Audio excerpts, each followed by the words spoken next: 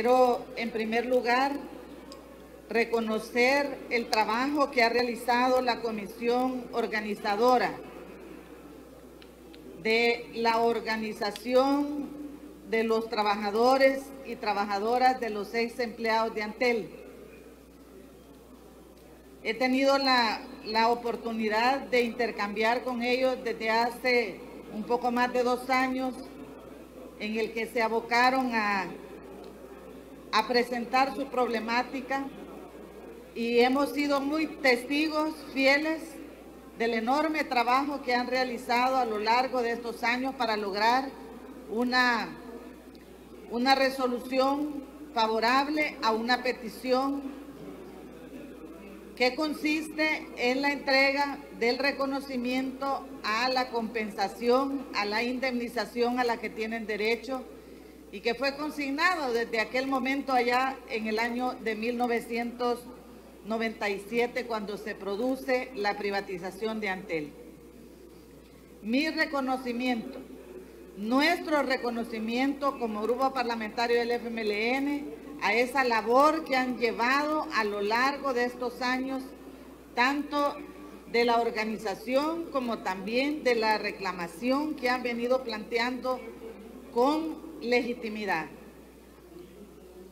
Ese reconocimiento nos permite también expresar que nuestro compromiso con esa demanda que ustedes plantearon desde el principio de que se les reconociera el pago de la indemnización a la que tienen derecho, ha estado presente en nuestra agenda y ha estado presente por una razón muy importante y es que corresponde a un acto de justicia social. Nuestro grupo parlamentario ha acompañado esta demanda porque representa una acción de justicia social para reconocer los derechos laborales de los trabajadores y las trabajadoras. Y ha sido una parte importante para nosotros que hayamos recorrido juntos este proceso, porque para llevarlo a cabo ha tenido también que intervenir la Procuraduría de Derechos Humanos, entre otras instancias, y creo que es importante reconocer que ese, ese camino, ese, ese trayecto andado de manera conjunta ha permitido que hoy llegue a este pleno un dictamen que cumple con todos los requerimientos legales, que cumple con todas las disposiciones de respaldo legal para que pueda llevarse adelante. Y que indudablemente sienta un precedente en esta materia. Y yo quiero decirlo porque ampliamente cientos, miles de trabajadores van a verse beneficiados de esto. Son cientos de familias que van a tener un beneficio al tener el pago de esta indemnización, a la que tuvieron derecho siempre y que hoy, por una labor de organización, de lucha reivindicativa, se ve materializado. Para nuestro grupo parlamentario, este hecho es muy fundamental porque reconoce uno de los temas en los cuales hemos batallado desde el principio, incluso desde el momento en que se hizo esa privatización de Antel, donde nuestro grupo parlamentario entonces hizo una batalla importante donde también planteó los costos y los riesgos de esa privatización. Y en ese momento ese grupo parlamentario advirtió también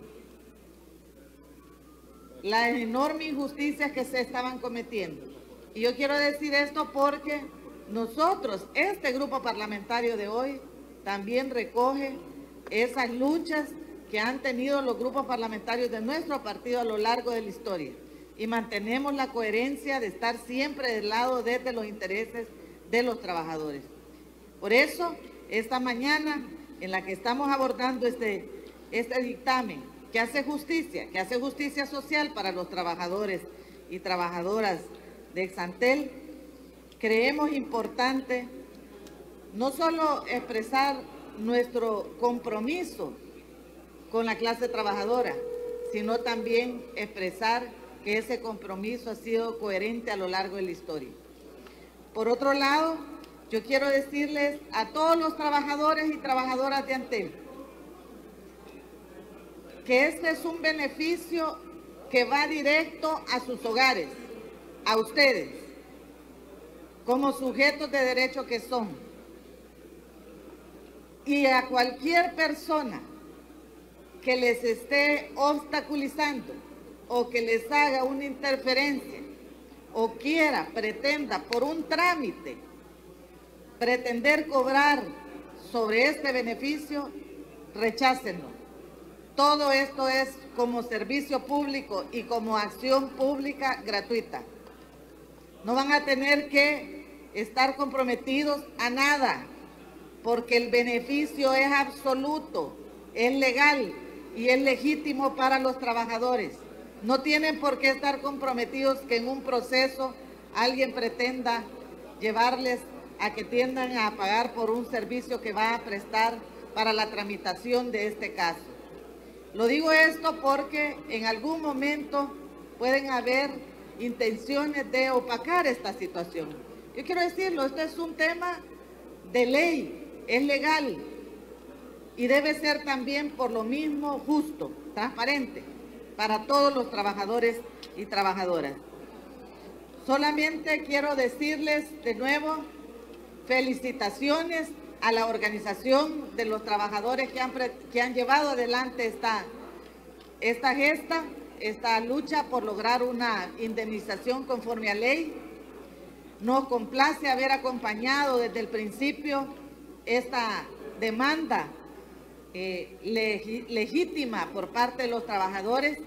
Cuentan con nuestro apoyo, han contado con nuestro apoyo, van a seguir contando y el grupo parlamentario del FMLN va a dar sus votos para apoyar, aprobar este dictamen, ¿verdad? En un acto de reconocimiento a los derechos de los trabajadores y en un acto de justicia social para con todos ustedes eh, en general. Muchas gracias y enhorabuena, señores trabajadores y trabajadoras, por este gran paso en obtener la materialización de sus derechos.